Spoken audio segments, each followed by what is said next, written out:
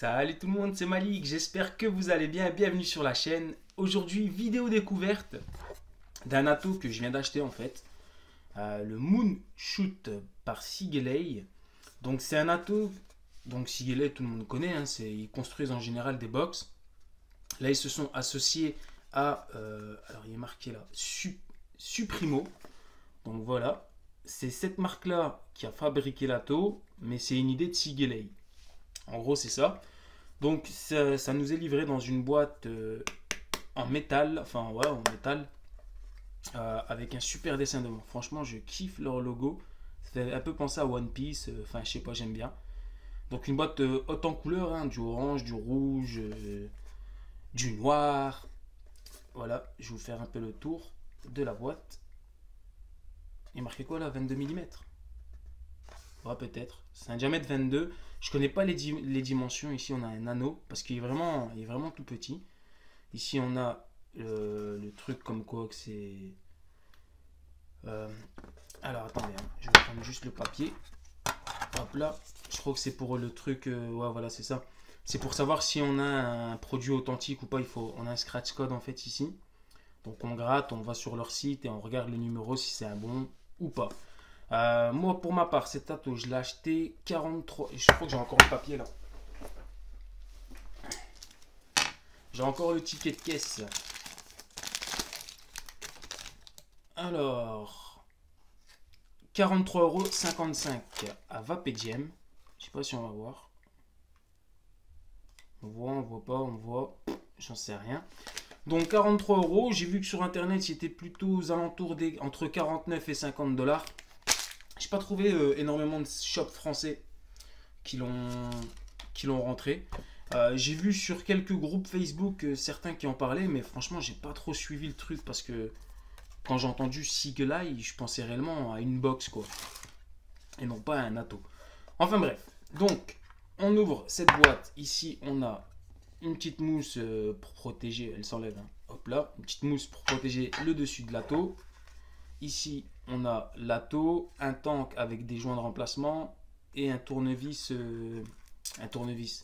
Une clé Allen avec deux vis. De toute façon, je vais tout vous montrer. Voilà. On a, par contre, on a une clé Allen de différentes tailles. Une grande, une petite. Je sais pas à quoi ça peut correspondre.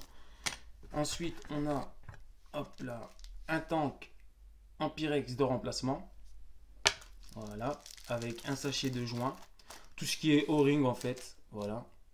On en a 4-5. Et ensuite, on a l'Ato, qui je trouve super beau. Mais ça, après, ça reste subjectif, bien sûr. Donc voilà l'Ato. Diamètre 22. Vraiment rikiki. Euh, je vais le comparer à quoi? À mon Bellus. Voilà. Il est beaucoup plus petit que le Bellus. Bon, en même temps, sa capacité, ça n'a rien à voir. Hein. Là, c'est du 5 ml, là, c'est du 2 ml. Je crois que c'est 2 ou 2,5, je sais plus. Je dirais 2 ml, moi, sincèrement. Donc voilà un peu pour l'ATO. Je vais poser ça là. Au cul de l'ATO, on a tout ce qui est. Euh, alors, built by on a des inscriptions avec euh, le CE, recyclage, tout ça. Au-dessus, on a un genre de drip top drip type euh, intégré. Alors, on ne peut pas le changer. Par contre, est-ce qu'on peut plugger Ouais, voilà. Donc, hop là, on a un genre de drip top sur lequel on peut venir plugger un, un drip type 510, quoi, normal. Euh, c'est vrai que c'est un peu court. Hein.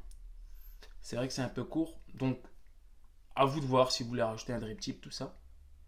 Euh, donc, cette partie-là, elle se dévisse parce que c'est, on peut le remplir, c'est un top filling, là, comme ils appellent ça, un top. Euh, on peut le remplir par le haut en fait. Donc on, dévisse cette pièce là. Il n'y a pas de joint, il n'y a rien. Le joint se trouve ici. Voilà. Et on remplit par un des deux côtés. En haut ou en bas, comme vous voulez. Ensuite, on enlève la bague d'airflow.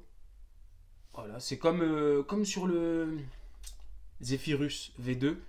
Euh, où on vient plugger directement euh, la bague d'airflow par le bas. Là, c'est pareil, c'est le même système. Voilà. Ensuite, on dévisse le tank. Alors, je vais bien te mettre comme ça, toi. Voilà.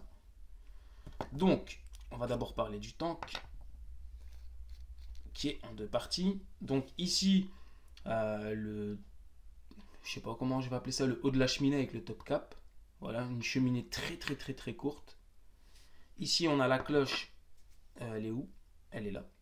Voilà. Ici, on a la cloche de la cheminée avec les arrivées de jus. Au nombre de 4.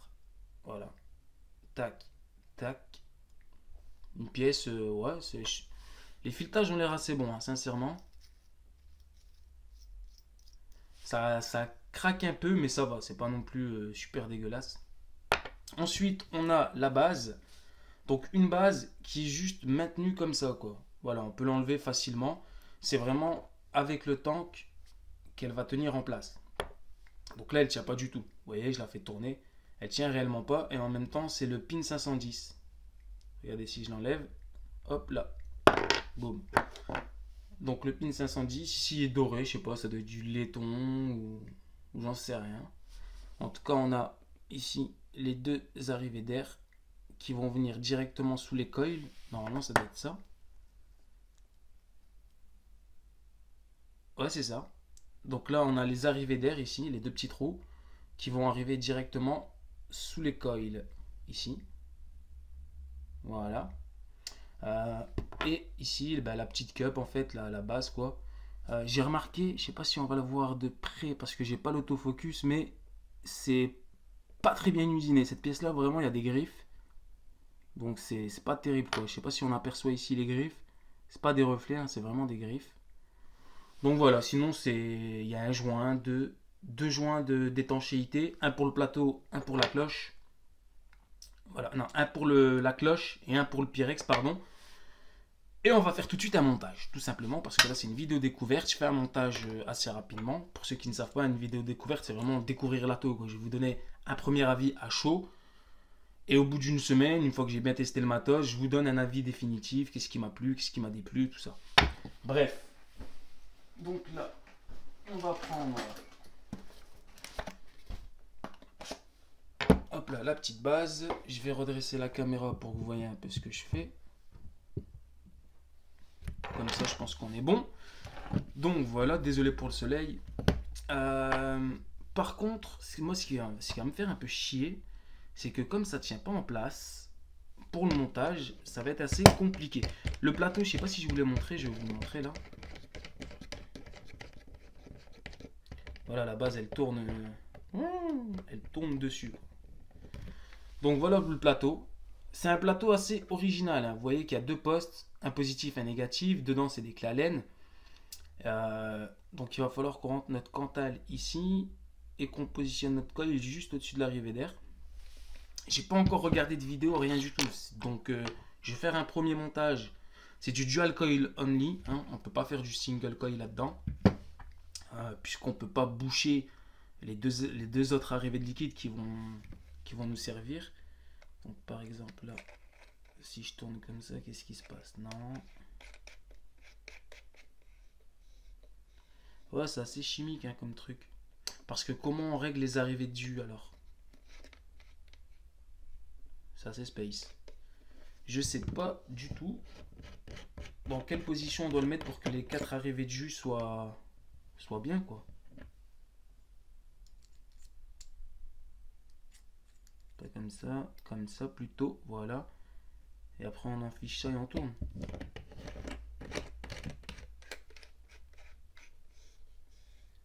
Ok, donc il faut d'abord mettre son, plateau dans la cloche et ensuite visser sur la base. Voilà, pour qu'on voit ici les quatre arrivées de liquide soient bien ouverts et, non, et ne soient pas obstrués par le plateau en lui-même. Donc bon, on va voir un peu comment ça se passe au niveau du montage, si j'y arrive facilement ou pas. Euh, je vais prendre ma clé à laine à moi. J'ai rien préparé comme d'habitude. Elle est pas là, elle est pas là.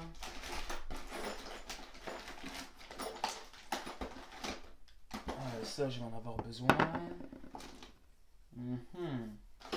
Je vais le faire un montage euh, en 0,40 du alcool pas du tout l'habitude du coil moi donc euh, je sais pas ce que ça va donner si ça va être trop chaud trop fort parce que je suis en 6 mg et j'ai pas envie que ça arrache la gueule.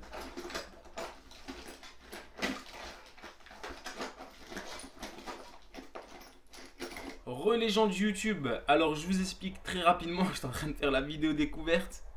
Plus de batterie, donc j'ai dû recharger l'iPhone. Euh, c'est pas grave, je vais, je vais faire un montage. Euh, donc, j'ai tout nettoyé, tout redémonté parce que ben, je continue à parler sans, sans trop regarder la caméra. Et j'ai pas fait attention que le téléphone était éteint en fait. Donc, euh, voilà, c'est des choses qui arrivent, un truc VDM. Enfin bref, donc là j'ai tout renettoyé la taux. Voilà. Euh, j'ai laissé le coil. Ah ouais, mais vous avez pas vu comment j'ai monté le coil. Parce que c'est pas compliqué, mais euh, voilà, comme cette partie-là peut se détacher du plateau, euh, c'est assez compliqué quoi. Il faut le tenir dans une main, passer son coil, enfin faire un petit coude pour que ça passe bien comme il faut. Ensuite, il faut les surélever bien au-dessus des arrivées d'air. Ensuite, on fixe ça donc à la base enfin à la, base de la cloche où il y a les arrivées de liquide. Voilà. Et cette partie-là, ici, on vient la visser directement sur la base elle-même. Voilà. Donc une fois qu'on a fait ça, on peut mettre sur une box et chauffer ses coils et pour, pour, pour serrer ses coils en fait. Donc voilà à quoi ça ressemble? Là, on va faire ensemble le, passage du coton. Euh, Ouais, en plus, c'est vrai. Euh, quand j'avais monté le coton la première fois, je l'ai monté. Alors, je vais vous démonter ça pour vous le montrer correctement. Voilà. Et voilà. Donc, on voit ici des énormes arrivées de juice. Hein, là où on va placer notre coton, justement. Enfin, les arrivées de juice se font par ces petits trous-là. Mais on voit qu'on a énormément de place pour mettre son coton. Son, coton. J'ai eu du mal. Donc, euh, moi, j'avais plaqué le coton contre les parois. Et en fait, non, c'est pas ce qu'il faut faire parce que c'est vrai que c'est logique. Euh, une fois qu'on a remis cette pièce-là, euh, dans le bon sens si possible, voilà, on va venir plaquer le coton contre la paroi de la cloche. Comme ça, elle va bien se mettre au niveau euh, des arrivées de jus et on n'aura pas de soucis normalement. Enfin, je vais tester ça tout de suite d'ailleurs. Donc là, je vais prendre du coton, donc de la Fiber Frix densité 2, ancienne version. Je vais prendre ça s'appelait un ciseau dans le temps. Il est passé où Il est passé là. Donc, je vais prendre une bandelette. Euh, je prends une bandelette, hein, tout simplement. Hop. Hop. Plus rien ce truc. Franchement, je l'ai trop utilisé. Bon, ça coûte, euh, je crois, 3 euros, mais ça tient pas beaucoup.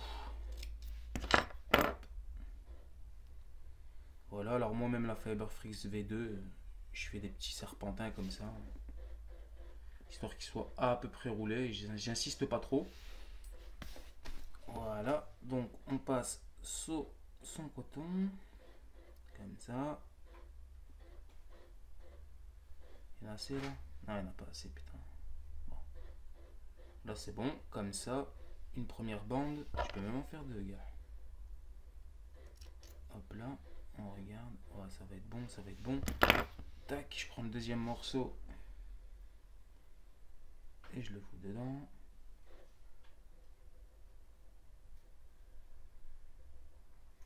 ça, voilà, ça c'est bien. On peut encore reculer un peu. Donc voilà où nous en sommes. J'ai placé mon coton. Hop là, comme ça. Maintenant, à la place de mettre du jus et de, coller le coil euh, contre la paroi, enfin contre, contre la paroi du plateau, je vais faire l'inverse parce que j'ai eu des petits glouglous. Alors, c'était pas des fuites énormes, hein, mais c'est quand même des glouglous. Donc, je vais placer mon coton comme ça. Euh, je vais couper l'excédent direct. Hein. Voilà. Alors, ça, c'est une technique. Putain, elle est encore partie la caméra. Euh, c'est une technique à deux balles. Hein. Sincèrement, je teste. Vraiment, je teste. Parce que je sais même pas si ça va bien fonctionner ou pas. Hop là, comme ça, ça devrait être bon normalement. On va regarder. Ouais, ça devrait le faire. Je vais juste couper comme ça ici. Voilà. Voilà. maintenant, j'ai une phobie. Je regarde mon téléphone toutes les deux secondes. Voilà. Et voilà. Donc, après, je viens placer ma pièce. Euh, je vais quand même plaquer le coton. Enfin, juste lui donner une petite forme, histoire qu'il rentre bien dedans. Pour pas que je sois gêné avec la cloche. une fois que j'ai remis la cloche, je vais revenir euh, pousser mon coton contre la paroi de la cloche et non pas contre celle du plateau. Voilà, moi, grosso modo, j'avais fait ça la première fois.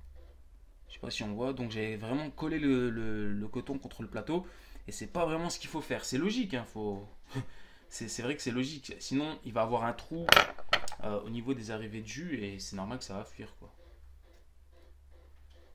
Ok, en plus la pièce n'est pas mis dans le bon sens. C'est comme ça. Voilà, voilà. Voilà, nickel. Ensuite, on met ça là et on vient visser. Voilà. Et maintenant, je vais prendre mon coton et le plaquer contre la paroi. Parce que sinon, voilà, regardez ce que ça fait. Il y a un trou en fait euh, dans l'arrivée de jus. Donc le liquide va s'infiltrer trop trop rapidement. Là, on le voit bien là. Même s'il n'y a pas d'autofocus, on voit qu'il y a un jour ici, en bas, dans le bas là. Et donc là, euh, c'est pas bon du tout. Il faut vraiment que le coton soit plaqué contre... Euh... non, je vais pas prendre ça, je vais prendre ça.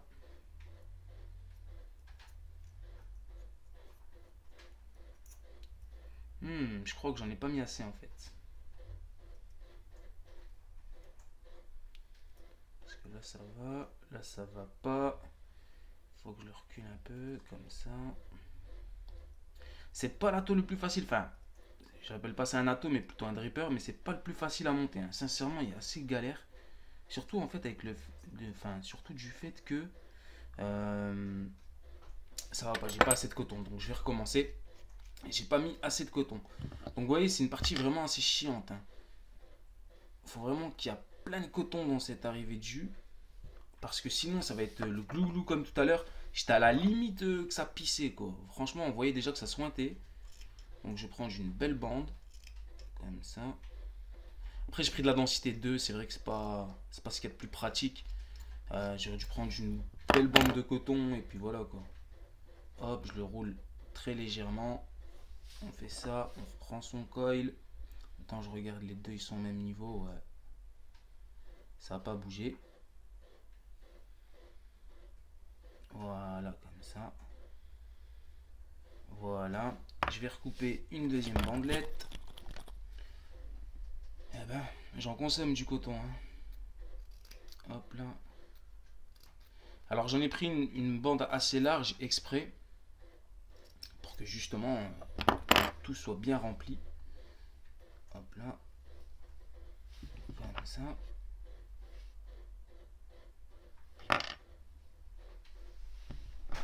Putain, il va arrêter de se faire la malle, ce bâtard. Hop. Hop. Hop.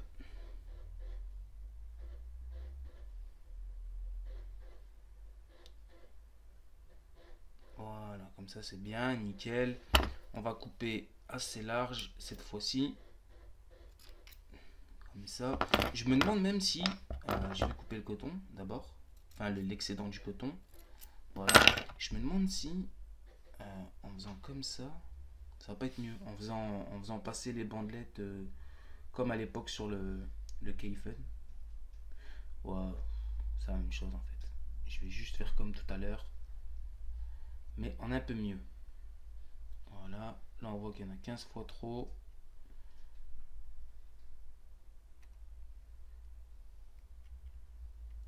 En plus, cette bague a un sens assez chiant. Donc voilà, et si maintenant je viens coller le coton contre la paroi.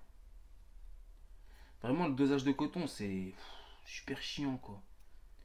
Il est vraiment super chiant. C'est pire que le que le, mini gobelin. Non, là, ça va pas. Hop là. Hop. Ah, parce que je le pousse le coton, c'est pas ce que je veux, putain. je vais la ramener devant. Voilà, là c'est cool. Ici, il est parti en couille ce bâtard. Voilà, mets-toi là. Et en plus, cette cloche-là, elle a un sens. Alors, vous n'allez pas le voir, mais il y a deux logos. Un là et un juste derrière. On voit rien, désolé. Et en fait, ces logos, faut les aligner avec vos coils. Parce qu'à l'intérieur, il y a deux petits détrompeurs là qui permettent justement le placement de cette cloche. Hop là, viens ici, toi. Ouais, le placement du coton, c'est vraiment chiant. C'est un point là super négatif et super relou. Euh...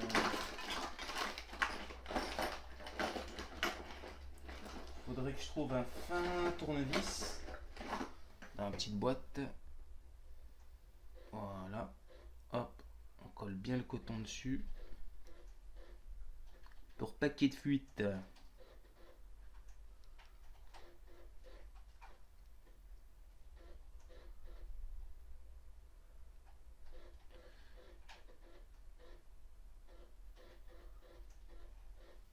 Ouais, c'est super relou. Hein. Je sais que c'est pas passionnant, je suis désolé. Mais en même temps, c'est pas moi qui l'ai créé, c'est un de mes couilles. Niveau saveur, tout à l'heure j'ai goûté assez rapidement. Bon après j'ai arrêté de vaper, j'ai vidé le tank, mais ça va, j'avais mis euh, un liquide en oldé. C'est vrai que c'était un peu chaud.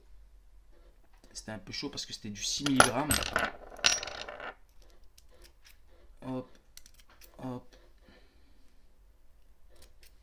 hop et hop. On vérifie bien.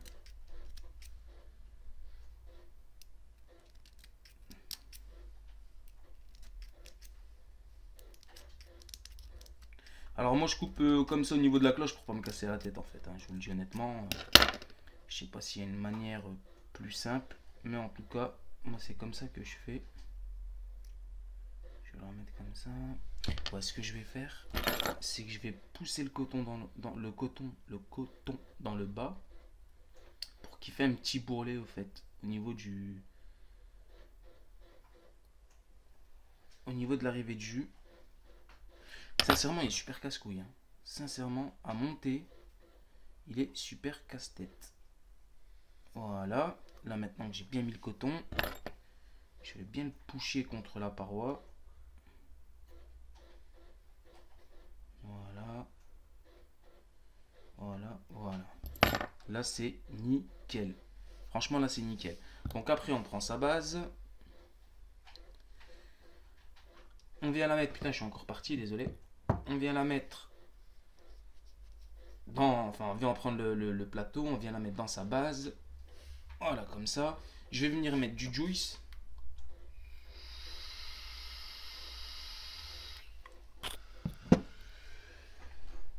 Tiens, je sais ce que je vais faire. Je vais lui mettre le même juice que dedans, que dans le Clayto. Comme ça, je pourrais comparer un peu les saveurs. Donc du sugar baron, hein. rien de tel. J'en suis devenu fan de ce liquide, ça a abusé.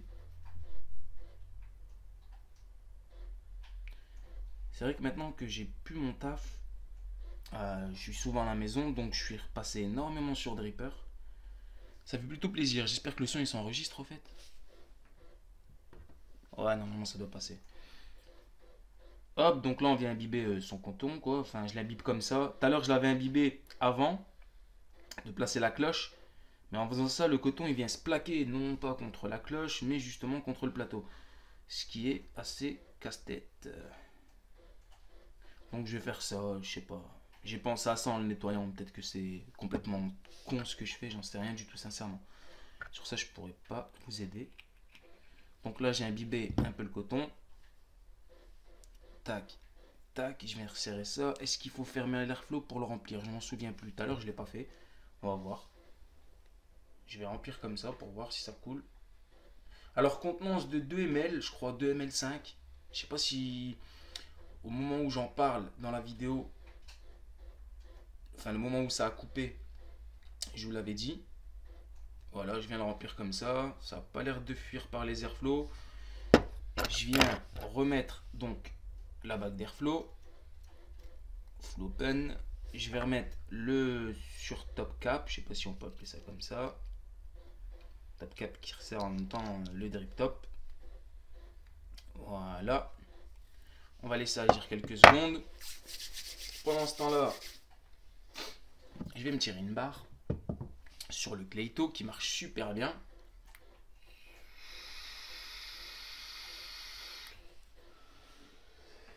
Qui consomme super bien aussi.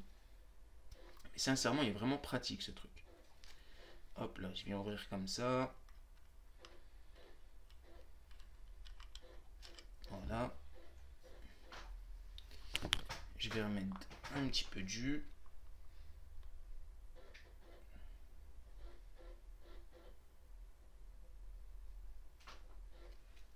Juste un petit peu.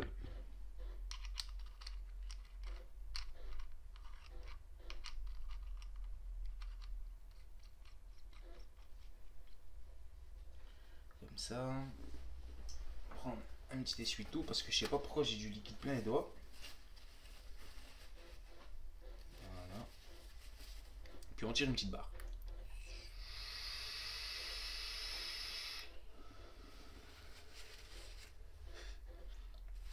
50 watts, ça marche nickel. Donc là, est-ce que ça a bien imbibé? Est-ce que ça coule par en dessous?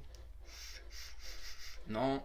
Donc maintenant, ce que je vais faire, c'est que je vais le tester. Voilà, on va poser le clé de ce côté-là. On va se remettre un petit peu droit. Je suis désolé pour le soleil là. Hein. C'est vrai que c'est un peu chiant ça. Hop là. En tout cas, ce tatou, je le trouve super beau. Sincèrement, je le trouve juste magnifique. Il est tout petit, je sais pas, il est tassé sur lui-même, mais voilà, 2 ml de contenance, c'est pas énorme. Mais c'est déjà ça, j'ai envie de dire.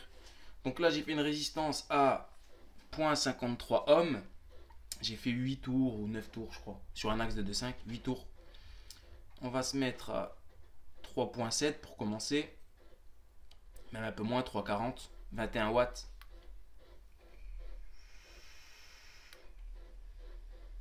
C'est trop léger. On va se mettre à 3,7 pour voir ce que ça donne. Donc 26, 26 watts.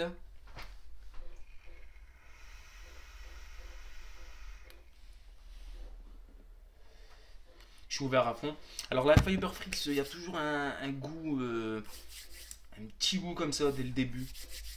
Je sais pas ce que vous en pensez vous, mais moi je trouve qu'il y a vraiment un léger goût de parasite en fait. Donc l'airflow réglable. Est-ce que si on le ferme complètement, il y a quand même de l'air qui passe, donc on ne peut pas le fermer complètement.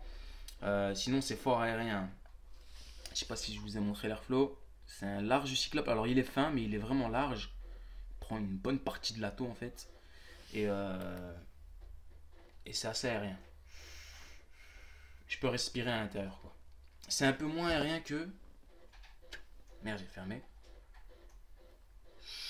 Ouais, c'est un petit peu moins aérien que, que le Cleito, mais c'est quand même fort aérien.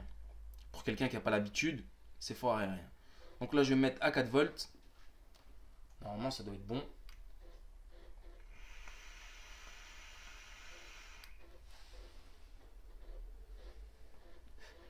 Là, je suis à 4 volts, ça on voit bien.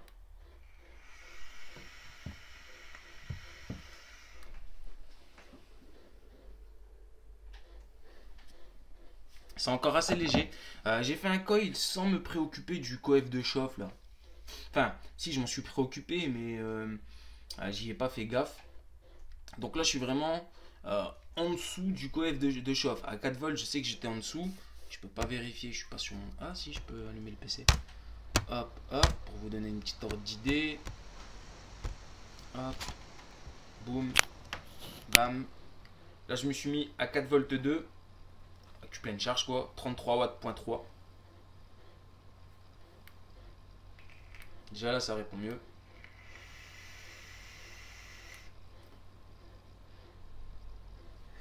Mais on sent que c'est encore froid. Ouh Production de vapeur elle est très bonne. Euh, on va se mettre directement à 4.5 pour voir ce que ça donne. À 38 watts. Voilà. Euh, c'est quoi C'est vapes.fr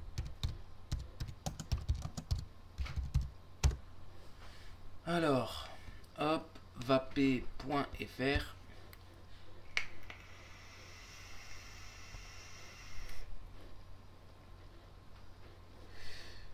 Ah, la production de vapeur, elle est 10 fois mieux que, sur celle du Cléto. Euh, la saveur, c'est encore un peu froid en fait là. C'est vraiment une vapeur très froide.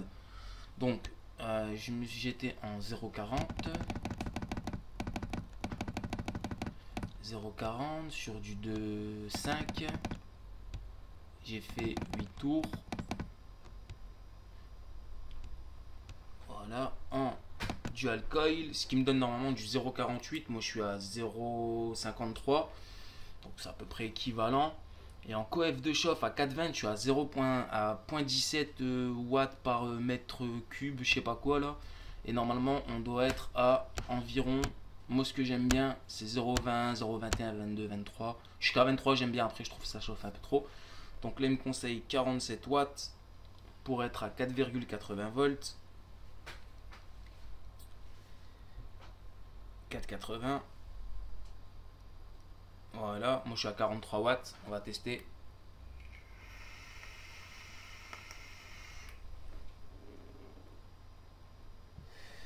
Ah là ça commence à donner quelque chose de bien là. On va se mettre à 45 watts direct. Voilà, 45 watts. On voit rien mais je vous montre quand même. Ce qui me donne du 4.88 volts.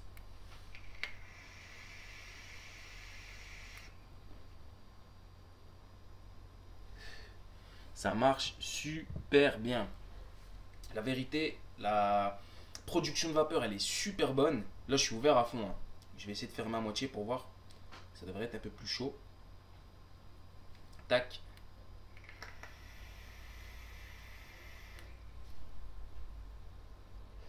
C'est plus chaud, on a un meilleur rendu des saveurs.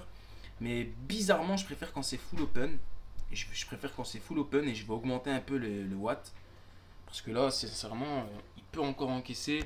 Donc je peux aller jusqu'à 5 volts à l'aise sans être trop trop pour le coil. Voilà, je vais mettre à 5 volts, ça me fait du 47 watts.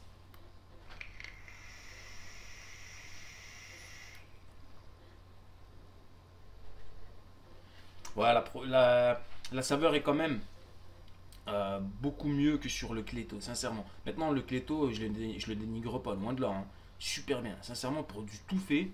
Je suis désolé pour la, vapeur, on ne voit même plus. quoi. Euh, pour du tout fait, ça marche nickel. Mais là, voilà, on a un dripper avec une contenance de 2 ml, euh, une chambre assez réduite, des arrivées du assez énormes. D'ailleurs, là, je vais encore vaper dessus. J'ai pas eu de glouglou, rien. Je sais pas si on va entendre.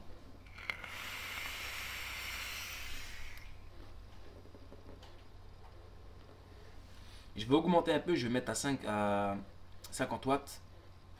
Voilà, ce qui me donne du 5 volts 15. Ça, c'est, euh, comme je vous l'ai expliqué, hein, euh, c'est par rapport au coef de chauffe. C'est super important ça. Euh, c'est super important parce que c'est ça qui va vous donner une bonne vapeur chaude à une température, enfin un wattage. je sais pas comment vous expliquer. Par exemple, si je fais mon coil habituel 7 tours espacé sur du 2.5 et que je me mets à 5 volts, ça va être trop chaud, ça va être beaucoup trop chaud, ça va cramer le coil, ça va créer un dry heat. Alors que là, comme je suis largement en dessous du coef de chauffe, il faut que je monte beaucoup plus, donc 5 volts 15, ça correspond à mes 3 volts 7 euh, sur mon coil habituel. Voilà la différence. Donc là, je me suis mis à 5 volts 15, donc ça fait du 50 watts.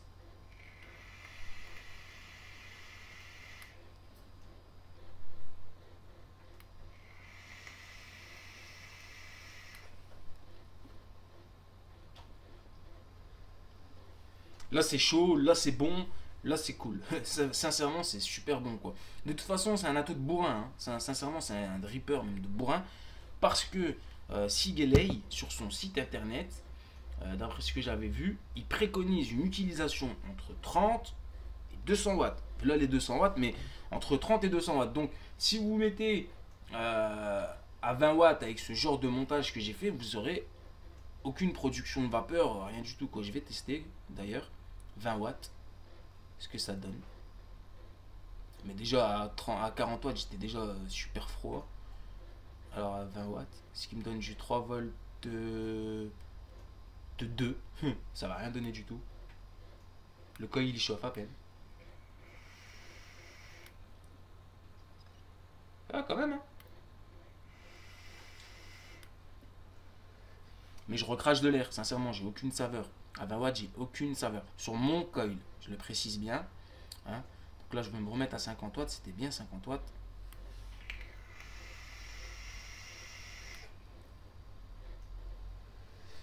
Et là, j'ai un bon popcorn caramélisé bien sucré. Alors voilà, euh, j'ai acheté ça, je sais pas si je vous l'ai montré, j'ai acheté ça aujourd'hui, la vidéo je la tourne le jour même, donc c'est une vidéo découverte. J'ai acheté ça à Vapegem Tourcoing, je sais pas si je l'ai dit, euh, si j'ai eu le temps de le dire dans ma première vidéo. Euh, j'ai acheté ça 43,55€ parce qu'il y a eu une petite remise, mais sinon il me l'avait fait à 44,90€ je crois. Et j'ai acheté ça à Vapegem Tourcoing. Voilà un peu le ticket de caisse. On voit, on voit pas, j'en sais rien. Bah, ça marche bien, sincèrement, ça marche bien pour envoyer du lourd. En ce moment, j'ai envie d'envoyer du lourd, euh, du cloud. J'ai envie de m'amuser comme un gamin, je sais pas, c'est ma période. C'est vrai que ça faisait longtemps que ça m'était pas arrivé. Et là, en ce moment, je repars de plus en plus vers des, vers des atos qui envoient du, du pâté. Et ça marche plutôt bien.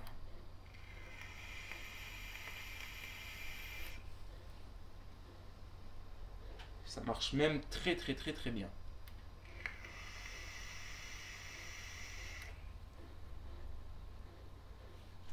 Voilà. On a enfumé toute la baraque, je vous ai montré. Euh, le montage est assez compliqué dans le sens où voilà, il, faut, tout manœuvrer à une main. On n'a pas ces deux doigts, enfin on n'a pas deux mains euh, de dispo pour travailler sur le plateau. On tient le plateau, on place un coil, on tient avec son pouce comme ça, on place le deuxième. Euh, pareil, j'essaie de le tenir avec mon pouce, je viens serrer comme, je peux. Euh, ensuite, je viens redresser mes coils avec la barre. Je viens replacer la cloche pour pouvoir visser directement le plateau sur sa base et ainsi serrer mes coils. Beaucoup, beaucoup, beaucoup, beaucoup, beaucoup plus facile. Maintenant, la qualité de fabrication, elle est bonne. À première vue, comme ça, les pas de vis, j'ai pas eu de soucis. Ça crunch un peu, mais c'est léger. Euh, mais sinon, voilà. Autant de taf pour ce résultat-là passer sur le Clayto. Sincèrement, c'est mon avis, mon premier avis, là c'est une vidéo découverte. Je vais vous refaire une vidéo retour utilisateur dans quelques semaines ou dans une semaine si j'ai le temps. Et là je vais vous dire euh, les points positifs, les points négatifs. Après avoir testé plusieurs montages, je vais tester aussi en Clapton. Parce que là c'est vrai que c'est du 0,40, ça chauffe, mais euh, je trouve qu'on a quand même une meilleure saveur avec le Clapton.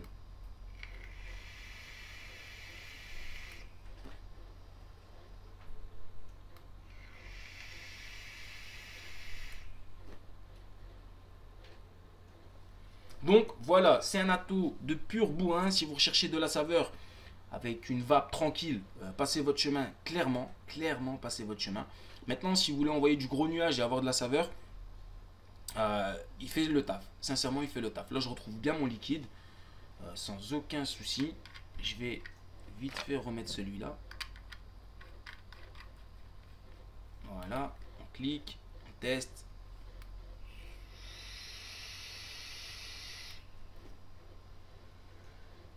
Ouais, on a quand même une vape un peu plus chaude et un peu plus concentrée euh, sur le, moonshoot, le moonshot, que sur le euh, Clayto. Voilà, c'est mon avis. Hein. Maintenant, moi, ce genre de vape, euh, je peux trouver ça amusant, mais pas. C'est pas pour moi. enfin, en tout cas pour moi, hein, on n'est pas dans la vape utile, la vape qui va arrêter la cigarette. Si je vape tout le temps comme ça, je me rallume une clope sec. C'est sûr et certain. J'ai pas voilà, j'aime bien les tirages serrés comme une clope, j'aime bien euh, sentir euh, la nicotine euh, m'arracher la gorge limite. Alors que là, en 3 mg, oui, je fais de l'inhalation directe sans souci.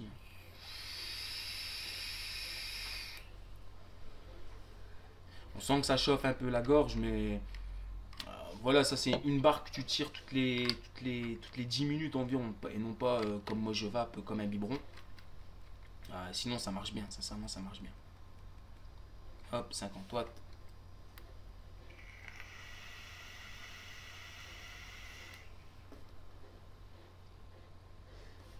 Voilà, c'est tout pour moi, donc 29 minutes, et c'est la deuxième partie de la vidéo. Putain, j'ai fait fort. J'espère que cette vidéo vous a plu, c'était la découverte du Moon. Ce que j'en pense là, maintenant tout de suite, après l'avoir testé, euh, trop compliqué à monter, Ouais, trop. C'est pas compliqué parce que voilà, j'ai réussi à le monter du, enfin, du premier coup, du deuxième coup, parce que la première fois j'avais mis le coton beaucoup trop loin des arrivées dues comme un con. Mais euh, pas pratique à monter. Voilà, c'est pas qui est difficile, c'est que c'est pas pratique quoi. Franchement, tenir la base, nana, tout ça. Euh, après, contenance de 2 ml.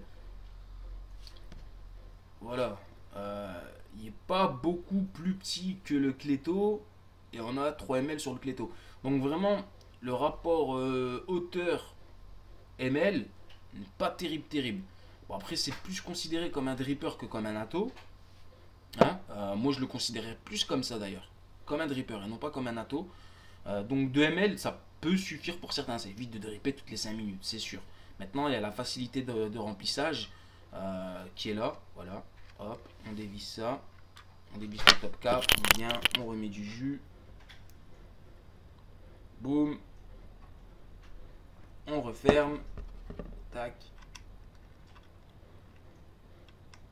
Comme on peut. Allez. Là, j'ai le doigt qui glisse en fait. J'ai plein de jus sur les doigts. Hop là, viens ici, toi. Donc voilà, on regarde. Il n'y a pas de glouglou, donc on peut remplir euh, Airflow ouvert à fond. Et voilà, on est tranquille. On voit comme elle est partie en couille. Euh, on est tranquille pour un petit moment. Enfin, un petit moment, ça dépend. Parce que moi, comme je vous dis, je ne vais pas à fond. Et j'ai tout le temps cette habitude de va pas à fond. Que ce soit du chaud, du froid, du tout ce que vous voulez. Donc, euh, le temps qui se vide assez rapidement. Par contre, j'ai une sale bulle d'air là. J'aime pas quand il y a une bulle d'air, c'est un truc de gamin, mais je préfère quand mon tank est bien rempli. Et là, comme le liquide est assez visqueux, j'ai une sale bulle d'air ici. Enfin bref. Donc voilà, c'est tout pour moi. J'espère que cette vidéo vous a plu. J'espère que le montage vous a intéressé. Euh, c'est disponible donc à Vap... Non, Vapegem, en fait, j'en avais acheté qu'un. c'est moi qui l'ai acheté. Euh, je sais pas s'ils vont en rentrer d'autres. En tout cas, moi, je le conseille sincèrement pour s'amuser, hein, pas pour... Euh, voilà quoi, c'est cool, mais c'est pas ma vape. C'est sincèrement pas ma vape, je le sais. Euh, je préfère être sur un bon vieux dripper, beaucoup plus simple à monter, pour un même résultat, je trouve. Ah, ça y est, ma builder, elle s'est barrée. Nickel. Voilà.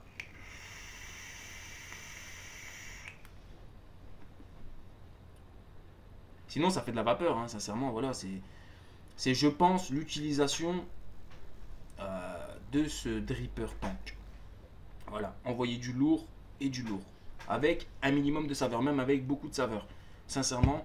Mais après, les jus comme ça, euh, ils sont fort dosés en arôme. Hein. Je pense pas que dans du 80-20, ils dosent à 10%. Quoi. Ils doivent au moins le doser à 20 25, même peut-être un peu plus. Ce qui est pas très très bon, je trouve. À mode de 25%, je pense que ça peut poser problème. C'est mon avis. Hein. Donc, voilà. J'espère que cette vidéo vous a plu. N'hésitez pas dans l'espace commentaire à me poser quelques questions. Euh, est-ce que c'est facile? Est-ce que c'est ça? Est-ce que c'est comme ça? Est-ce qu'il y a ça? Est-ce que... Voilà, tout simplement. J'espère que cette vidéo vous a plu. Salut tout le monde